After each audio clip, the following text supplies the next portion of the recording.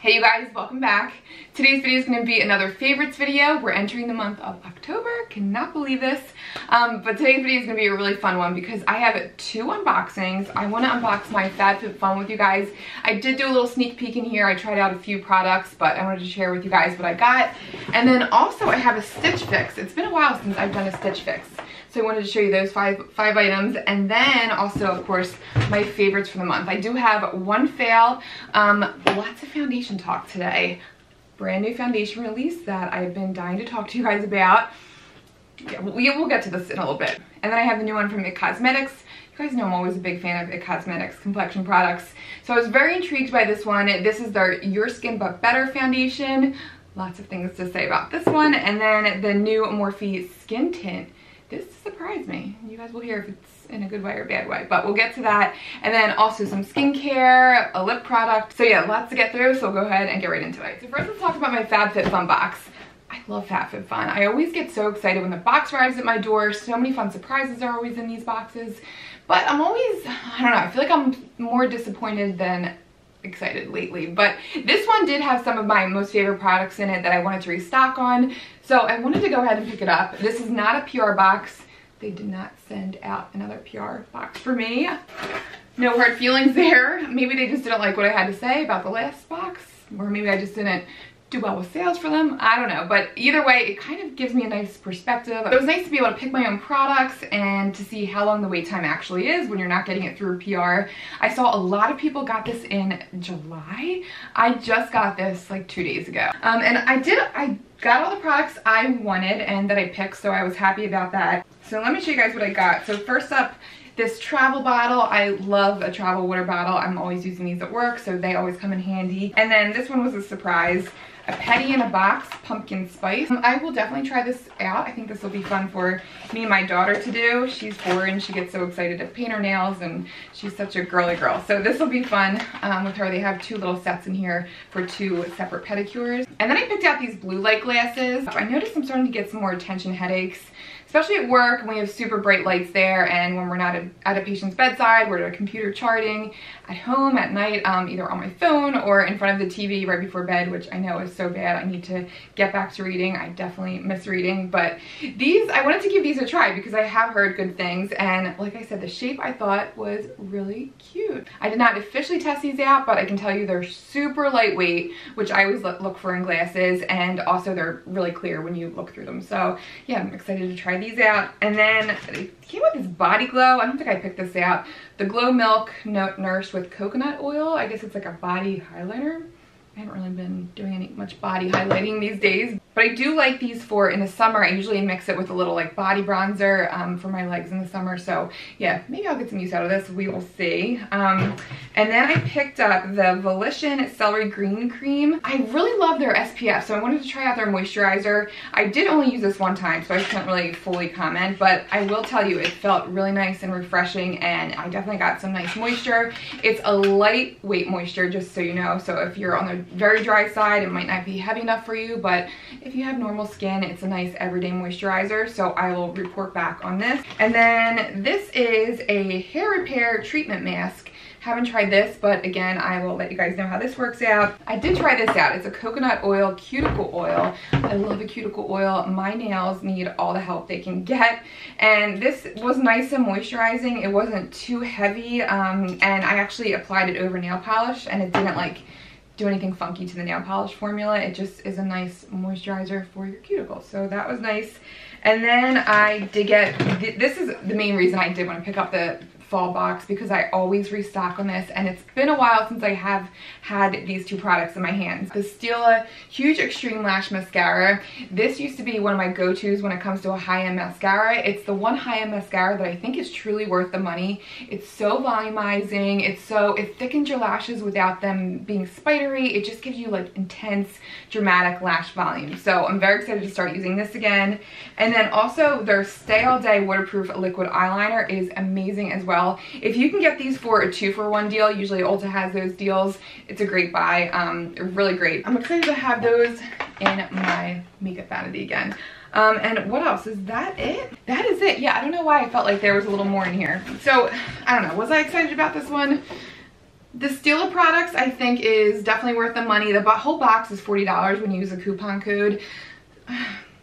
I don't know. I think I was a little underwhelmed this time, to be honest. I There was one thing that I really wanted. It was a Kristin Cavallari, really cute, like rose gold vases that I, I thought would be really nice on my countertop in the kitchen. They were sold out as soon as I could customize the box.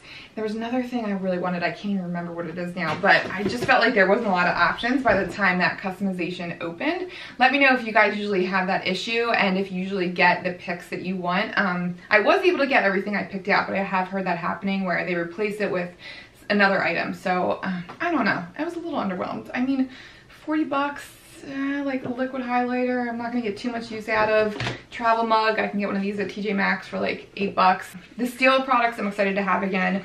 Um, and then this Volition Green Cream is a nice everyday moisturizer, but I'm not totally blown away. So yeah, I think I was a little underwhelmed this fall, but I think I will continue to get um, the FabFitFuns. They're fun to get, what can I say? It's just, I love getting surprises in the mail. But yeah, let me know what you guys have thought about FabFitFun recently. Have you been excited about them? Have you been underwhelmed? I'd love to know. All right, but that's a FabFitFun. And then next up, we'll talk about the Stitch Fix box. I used to get these all the time. I just think they're so fun and convenient. Um, it's a little hard to go clothes shopping with a one and a half year old and a four year old, so I'm usually doing all the online ordering I can. Um, and I really needed some casual fall shirts. What I like about Stitch Fix is you can customize what you want. So I told them this time that I wanted all tops, all long sleeves except one short sleeve and they gave me exactly what I wanted. Pretty happy with what I got. Um, I think I will return one or two things. But the first item I'm actually wearing today, it's just this casual t-shirt with a little pocket on the side. I like it because it's nice and flowy. It's actually pretty long. Oh, sorry, my light just went down a little bit there.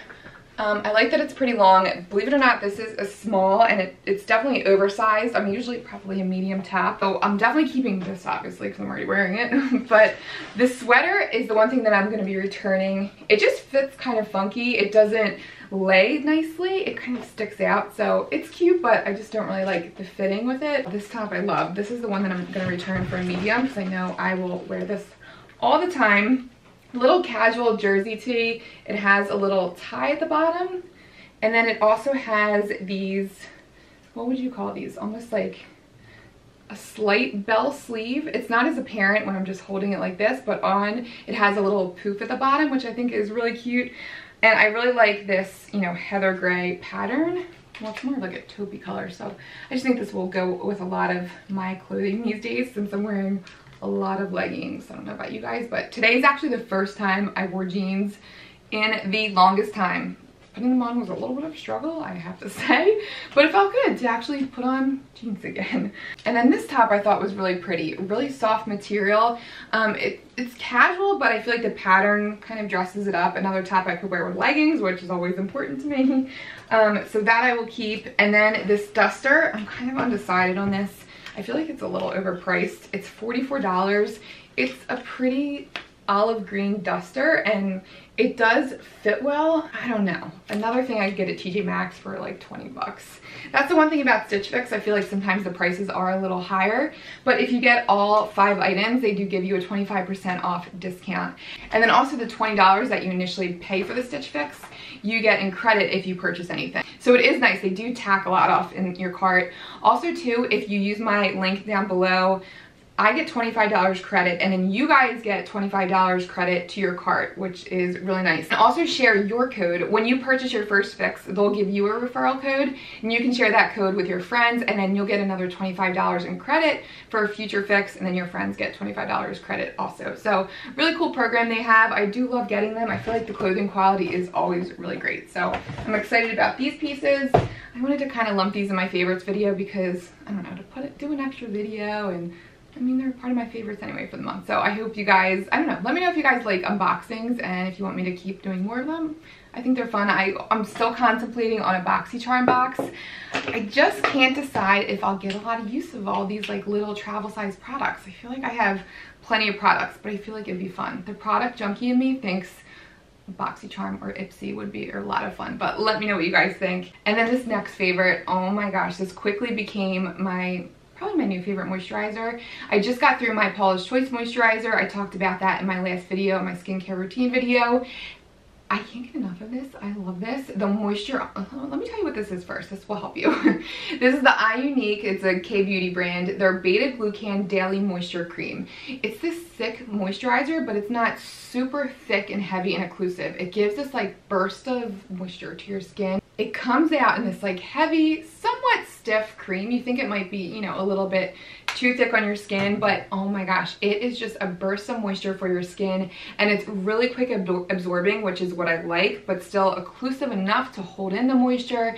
It works well with a ton of different serums. It doesn't pill at all, which is so important to me when it comes to a moisturizer. I love that it's fast absorbing and it still is really hydrating. So I'm loving this one.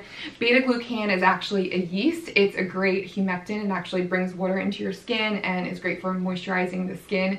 It's actually a yeast. You can find it in Cheerios, but who knew that beta glucan was also good for your skin. It's just a great ingredient. It's huge in Korean skincare and they know what they're doing when it comes to skincare. So I'm really excited about this moisturizer. I definitely think this will be a repurchase. And I love that you get two ounces in here. This is something like 13 bucks. You definitely have to take into account the shipping when it comes to YesStyle. I know that obviously with COVID and everything, everything's backed up, but just as a fair warning, my one order took a whole month. So just to pre prepare you guys, I don't want you guys to be disappointed but I'm loving that moisturizer. And then I got this new Becca lip balm in PR from Octoly, and I am loving this color, the application, and the moisturization I get from this. I'm wearing it today and it's just this light wash of color. I love the color so much because it's that perfect cool tone pink that takes the redness out of your lips and just adds a little something.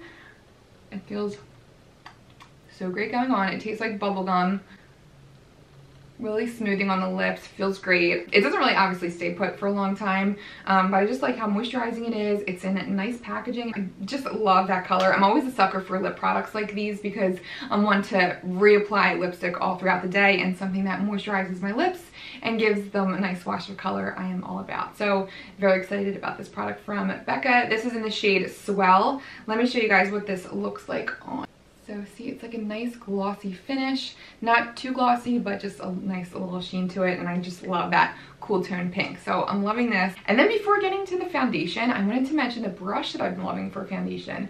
I'm not usually a brush kind of gal. I usually use a sponge for a foundation application. But this BK Beauty brush just makes things so effortless and easy.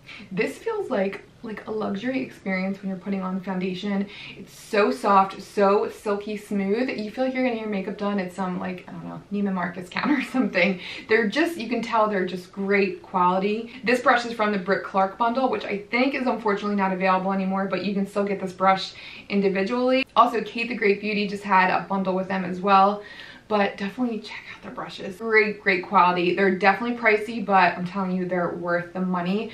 Um, this brush is just a game changer for foundation application. I'm really excited about this one. Another favorite for the month. And then let's talk about these new foundations. The first one I cannot get enough of. It's gonna be my new holy grail. It already is my holy grail. I love it. I think I even like it better than their original CC cream. This is the IT Cosmetics Your Skin But Better Foundation plus Skincare. This is the best coverage, the perfect amount of medium coverage that you can also build up. It definitely give, doesn't give you full, but you can see a little bit of your imperfections through the foundation, but it blends into your skin so seamlessly and it makes your skin look like your skin, which is what you want in a foundation. Never looks cakey, long wearing, but it's not terribly hard to get off. It's, it's not transfer proof. It definitely, I noticed transfer on my mask, but it wears really nicely and it's so lightweight. The fact that it's liquid thin. It reminds me a little bit of the OG Naked Skin foundation. Really thin, but the pigment is there. You don't need a lot. A little bit goes a long way. It spreads easily. It feels great on the skin. Cannot say enough good, good things. And the shade match was pretty spot on for me. I got Light Warm 23. So you can see on my hand, I just blended it in, in, here. There's a little bit of a glow, a tiny bit of a sheen. I'm not wearing it today. The one I'm wearing we'll talk about in a second. But it just gives such a pretty finish to the skin. So natural looking and it just makes your skin look healthy and it seamless on the skin, never cakey, works well with powders. It's it's amazing. Doesn't highlight texture, so great. Doesn't sink into pores. It sets really nicely too. I know that was everybody's big issue about the CC creams that it kind of slides around. This does not do that. I almost feel like sometimes I don't need powder with it. It sets pretty easily. So, so excited about this one. Loving this. And then the next foundation, this threw me for a loop in a really good way. I cannot believe it. So this is Morphe, I don't know why it's called 2, but Morphe 2, the Hint Hint Skin Tint. I have the shade Hint of Beige, light medium with neutral undertones. So this is supposed to be just a little hint of tint on your skin. Now, let's talk first about Morphe products. I think the last product I bought from them was was the Jaclyn Hill Vault collection. And we all know what a disaster that was. The formula just was not there. Morphe has been so, I have to say, more like I may have had maybe 25% of their products have been winners for me. The other 75%, the quality just was wasn't there so i did not have high hopes for this i went into it a little bit apprehensive i didn't think much of it i kind of just threw it on one day but I was so impressed with how this wore. It gives such a beautiful dewy finish. I'm wearing it today. See, it's a little bit of a sheen, but not too much. I was pleasantly surprised by this. It's beautiful on the skin. Now the one negative with this, I do notice it doesn't really work well with powder. I always feel like, you know, because you have a little bit of that shine and I want to just at least take down my T-zone a little bit, but when I do that, it enhances my pores. It looks like the foundation's like sitting in my pores. You know what I mean? Like you can actually see where all the foundation is sitting, but without powder, it looks beautiful on the skin. So I don't know what that's about, but if you just want a little something to your skin, something to enhance your complexion, something to make your skin look super flawless and to give a little bit of a dew, this is a gorgeous, gorgeous product. I have, may go so far as to say that I like this better than my NYX BB cream. That is one of my most favorite drugstore BB creams because of how lightweight and glowy it was. But this finish is absolutely gorgeous. It's, it's one of my new favorites. But yeah, I don't know. Let me know what you guys think. Have you given up on Morphe? Because I definitely thought I did until I saw this product and it definitely intrigued me. So I'm like, all right, 17 bucks. Let me give it a go. I think I placed an Ulta order and it was just something to get me over that $30 shipping range. I'm like, mm, let's just, let's try this out and I was very impressed by this. I'm really excited. It's going to be my new slap on a foundation when I'm running out the door situation. It's really great. I am really liking this. And then unfortunately, the last fail for the month, I was, I wanted to love this so bad, but my fail for the month was the Rare Beauty Weightless Touch Foundation. I picked up the shade 180W. This is the only thing I've tried from her line, so I, am dying to try everything else. I'm hearing rave reviews about the concealer, the fact that it's really moisturizing, hydrating, it gives a radiant finish. I think that'd be great on my dry skin, but the problem with this, if you have dry skin, it accentuates everything. It accentuated my pores, my texture. I have a little bit more dry areas, especially now with using a retinol. This just ugh, brought out all the bad things in my skin and it felt tight on my skin not a fan of this. All right, so I figured I'd show you guys what this looked like in natural light. I'm just running some errands today. Check out, the, the foundation's only been on my face for about maybe three hours right now. I had a little bit of an early start this morning. Um, but as it dried and set, you can just see all the texture on my face. All right guys, so here I am, up close and personal. You can see my pores how apparent they are. The foundation looks so cakey on my face. It's already starting to break up on my chin. You can see some redness, some blemishes I have on my chin here and my forehead especially. My lines are really apparent. I, you can see lots of dryness, some flakiness, just lots of texture. Oh gosh, yeah, especially around my eyes too. Ah, my fine lines are really enhanced. My skin just looks creepy and extra dry and textured.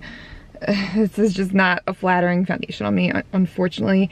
Maybe if you have oily skin, this would work for you, but man, and I moisturized this morning too, and it's just enhancing all my dry areas and whew, yeah, just not doing good things for my skin. I was really bummed because it feels so lightweight. I felt like the cool thing about this, the formula is really unique. You almost have to paint it onto your face which I thought was kind of cool at the beginning, but then the issue with it, it's really hard to rub on. It doesn't have that emollient feel, so you can't really just rub it in easily. You really have to take care in making sure you're getting all of the sections because it's not gonna spread onto the skin if that makes sense.